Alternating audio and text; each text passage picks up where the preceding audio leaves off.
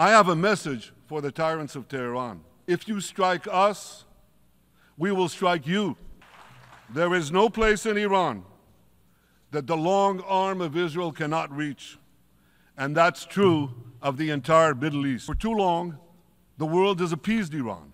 It turns a blind eye to its internal repression, it turns a blind eye to its external aggression. Well, that appeasement must end.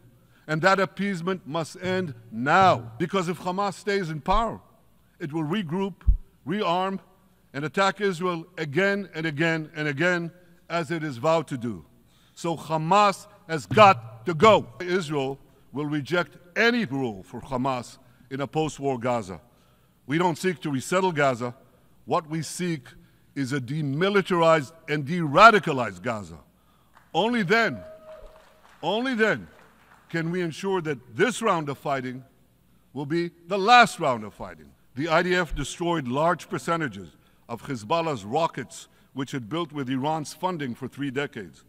We took out senior military commanders who not only shed Israeli blood, but American and French blood as well. And then we took out their replacements, and then the replacements of their replacements.